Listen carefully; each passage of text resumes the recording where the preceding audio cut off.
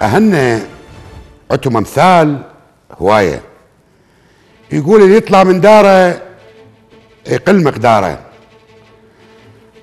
وما حك جلدك مثل ظفرك. هذا الواقع المزري المشين المتعب على الجميع. اللي وصلنا له الآن هو بسبب انه إحنا بيوتنا وابوابنا مفتحة. ياهل يجي من الخارج يطب يقعد ويناقش ويتحكم ويفرض ويسولف. ليش؟ شبيه حضن الوطن؟ ليش ما إحنا أخوة؟ وعندنا تنوع جميل وعندنا مشكلة في داخل البيت. نلتم كل إحنا حتى وإن كنا أضداد. حتى وإن أسئنا لبعضنا. حضن الوطن يلمنا. نقعد نقول هاي مشاكلنا هذا الذي نرتئيه هذا الذي نقرره هذا الذي نقبل به ذاك الذي لا نتفق عليه ونكبر على جراحاتنا ونتنازل لبعضنا البعض. ونقول له للأجنبي أبو الوليد تظهر برا. لما تجي ضيف نقول له يا غريب كون أديب. هذا شيء عراقي. هذا تقرير مصير. إيش وقت ما أنت وديت علي لما شكلت حكومتك أو أخذت رايي ذاك الوقت أنا أودي عليك.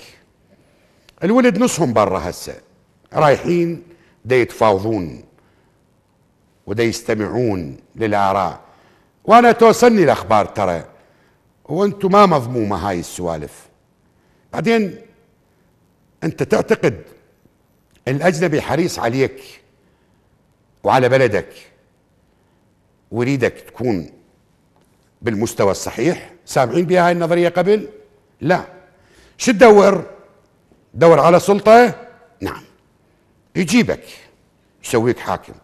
بس من يسولف وياك وحتى يعطيك سلطة أو حتى يسويك حاكم أو حتى يسويك رفيع المستوى يسولف وياك وأنت مدنق. وأنا ما تعودت العراقي مدنق راسه.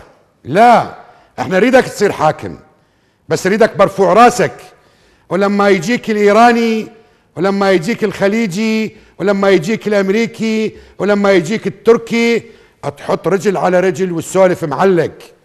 معلق بالحقوق بالحصانة.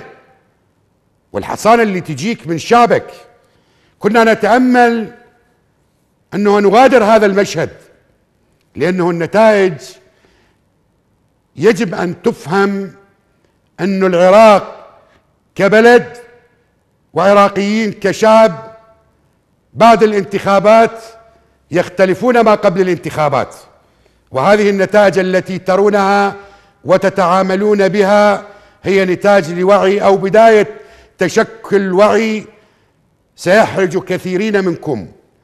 فاخويا إخوان سادتنا الكرام قادتنا العظام ردوا للوطن. تعالوا هنا وخلونا نسولف بضيمنا. والله ما حد يفيدكم. وتتذكرون تشرين السوت؟ وتشرين ترى على الأبواب من الطق صعبة. والله أقول هذا الكلام مخلصا بلا غايات. وأنا مارس هذا الدور دائما أنصح ودائما أقول ولا أدعي إني أفهمهم ولكن لأني حريص على البلد بالمرحلة المقبلة.